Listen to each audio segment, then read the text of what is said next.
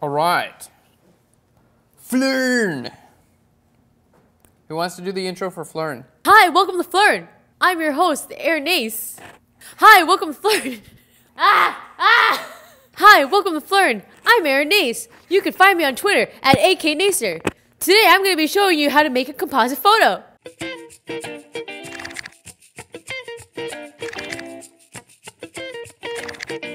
All right, hey guys, and welcome to Phlearn. My name is Aaron Nace, and you can find us on Twitter at Phlearn. We make learning Photoshop and photography fun. And today we're doing something really cool. We're actually taking an image. This is from our latest pro tutorial, A Dark Force. And I'm gonna show you guys another version that we're doing exclusive right now. And we're taking another subject and we're gonna be putting it in our background. So we're gonna show you guys how to cut your subject out and do some really cool work with matching lighting from the background to make it look like the subject is actually in the photograph.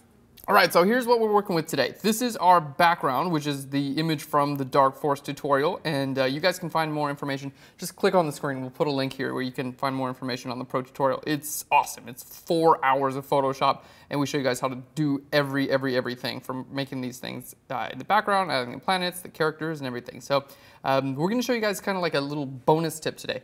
I'm gonna grab our move tool and this is just uh, our subject that we photographed in the studio. I'm gonna shift click and drag this from one image to another one and then we're gonna hit F for full screen and zoom in. So I'm gonna show you guys how to cut someone out in a really cool way using basically the magic wand tool and a couple of the features that you might not have like seen before in the magic wand tool that make it a little bit easier. Okay, now the magic wand tool, if I just click on this image and we're gonna wanna click sample all layers so I can, well, we'll just, actually we'll leave that off so I can just sample this layer for now. Okay, if I click on this image, you can see how much it's selecting. Now, if I want less to be selected, all I have to do is bring the tolerance down on this. Let's go to a tolerance of 9 or something like that. Okay, that looks pretty good. We'll bring it down even more, just a little bit till something like 8. Very cool. And you can see it's also like selecting where, basically pretty much where I'm clicking, right? It's just anywhere that I'm clicking, let's, it comes default with this contiguous button checked on. So if I click here, it's gonna select right about there. If I click there, it's going to select something similar. Okay, and it stops basically when it reaches a different color, like it's selecting out the gray because we shot on a gray backdrop, but when it reaches, you know, this different color, it's stopping, so it's not selecting this. But you could get in here and you can hold like the shift key down and continue to click all these little areas and things like that.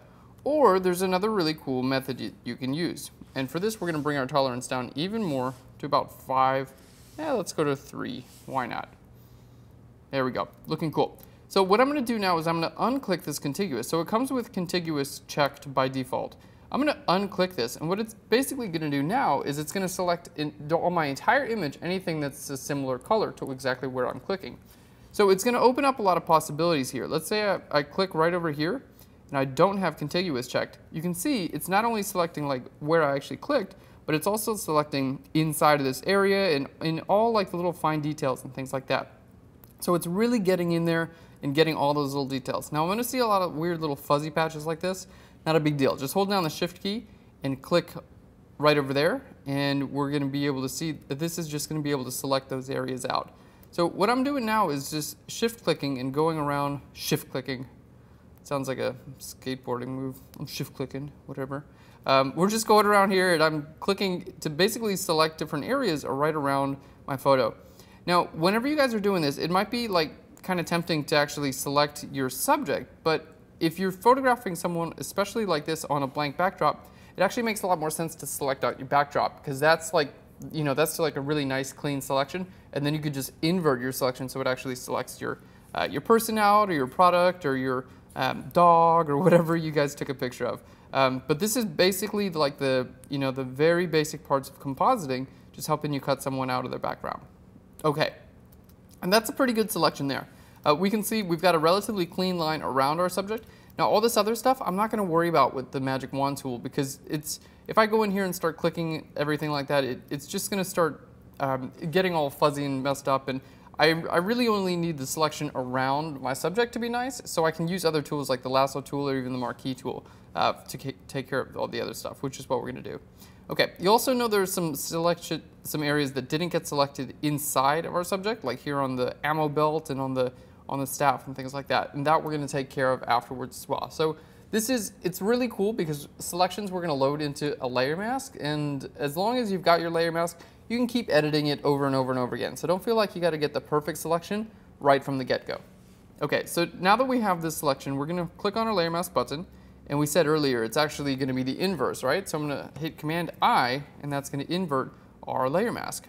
Okay, so now we can see all this other stuff in the background. I'm just going to grab our regular lasso tool and make a selection right around that. There we go. We can hit Shift Delete and say fill with black. And that's just going to fill our layer mask with black. And keep in mind, anything that is black on a layer mask is not going to be visible. Anything that's white is going to be visible.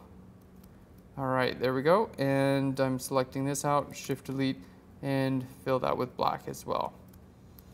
There we go. So now we can see we're actually really well cut out. And the cool thing, because I unchecked this contiguous box, is like it's getting all these little details and things like that, like inside of the fabric and whatnot, even like right through the fabric. You can see right there. Very, very cool. Now let's go ahead and like figure out what's going on here with the, uh, with the areas that didn't get selected within our subject. To see this a little bit clearer, I'm just going to hold Alt or Option and click on my layer mask. And now we can kind of see what our layer mask looks like uh, just in black and white, which is really helpful. So now I'm going to use this lasso tool and we're just going to make a selection right around there. And I'm going to hit Command Delete, which Command Delete, by the way, fills with your background color. In this case, my background color is white. All right. So I'm just making these selections and then filling them with white so we're not going to see through our subject in these areas. Like we don't we don't need to see through the these areas. All right. There we go. And that looks really good. So let's hit Alt or Option and click on this delete again. There we go. And clean this where there was a, I guess there was a C stand coming out of his head there. Okay, that looks great. So this is like a start to the image. Now we've got him kind of like figured out. And this is like what I would consider a pretty rough cutout job. If you guys want to get a lot more like in depth to get the perfect selections, that's what our pro tutorial is for. But this should get you like most of the way.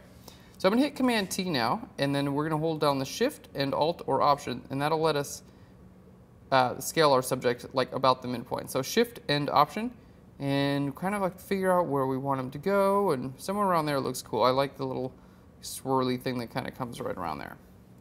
All right, that looks great. Now, there are a couple things that I'd like to do for color matching our guy to the background. Um, one is the background has a little bit more red than he has on his layer. So what we're going to do is I'm going to grab an adjustment layer. We're going to go to curves and then I'm going to hit Option Command G and that's going to clip this curves adjustment layer to our subject, which means that anything I do on this layer, like if I make it darker, lighter, whatever, it's only going to affect the subject, right? It's not affecting the background layer. That's what clipping does. It's really, really cool. All right, let's reset that. And now I'm going to go to our red channel and just click in the middle and then use my up arrow a couple times there we go. And that's just going to make our subject a little bit more on the red side. And I think he's a little too saturated as well. So I'm going to go to Hue Saturation, Option Command G again to clip that, and we're going to bring that down a little bit. All right, and I think I put a little bit too much red on him that time. All right, there we go. And let's go to our blue channel, and I'm going to bring the blue channel down just a little bit as well. So he gets that like nice orange look. The nice orangeness going on. All right, and we can bring our saturation down even more to kind of match the background a little bit better.